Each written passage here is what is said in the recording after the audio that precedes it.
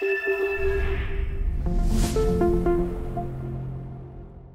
super quick overview of the information extraction agent bricks.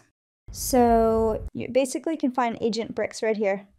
in the left sidebar and once you click on it you basically see our two agent bricks tasks information extraction and model specialization. If I click on information extraction here uh, I can open it up and we can basically see, okay, this is going to help me convert text documents into structured JSON to detect and classify key information, such as names, dates, amounts, etc. And so the first thing that I'm going to do is provide the source document. So if I browse what I have in Unity Catalog, I see that I can choose either a delta table or I can choose a volume, depending on where my source data lives. And if my source data is actually a PDF or an image, I'd really encourage you to use our AI parse private preview, which is a SQL function that will convert your PDFs and parse the text into a delta table that you can then plug in here in Agent Bricks.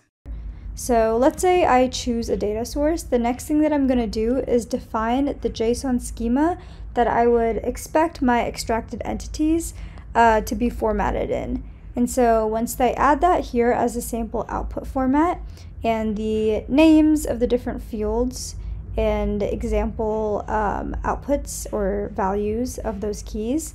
then what I can do is create the agent. So let's go to an agent that's already created here, which is meant to extract receipts uh, or receipt data in English um, from different receipts in different formats. So the first thing that I'm going to care about here are the global instructions that apply to any extracted element. But then from your schema that you give us, we actually help you by providing a schema definition and auto-generated descriptions for different keys within your schema, such as the receipt ID, the receipt category, date, vendor name, etc. So we'll auto-generate these descriptions for you straight off the bat, but then also take you the next step further to improve your quality by giving you recommendations. So if I look at the dismissed recommendations, I see here that we provide recommendations on um, improving the accuracy of the receipt category by providing a more descriptive uh, definition for the different fields. And for the variety of fields that you're trying to extract, we'll give you intelligent recommendations on what we think you can help with to ensure that the outputs extracted are completely accurate to the information you're trying to get from these documents, receipts, images, or PDFs. Um, and what really matters here is that you can see these improvements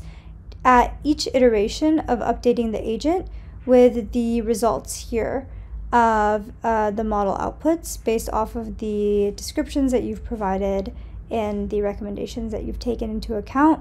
And so if you flip through these and see that, okay, I think this is accurately extracting the information that I need, you can either update the agent if that's not the case with updated descriptions, or you can go ahead and go to the use page, which is where you can do one of two things with this endpoint that's already generated for you from the get-go.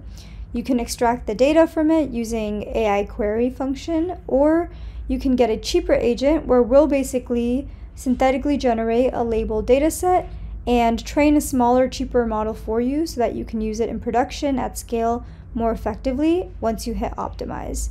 So let's say I've already hit optimize. If I go to the review page, what I can see here is a rough estimate of the cost and throughput of your active model versus your optimized model. But then I can also use our auto evaluation feature built into Agent Bricks to see how my active model is doing, for example, so the original one that I generated, um, and then actually compare it to the optimized model here and say, hey, basically for this cheaper cost, am I still getting the quality that I need? Um, and where is the optimized model doing better or worse to the active model? So once I'm pretty satisfied with my endpoint, I can then go back to use and then also actually use it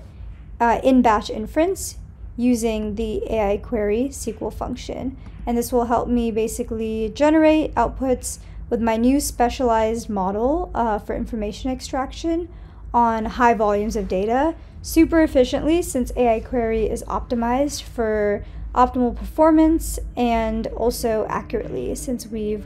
really trained a model to effectively extract information on your domain knowledge with the intelligent recommendations, the iterative quality loop, and the description generation.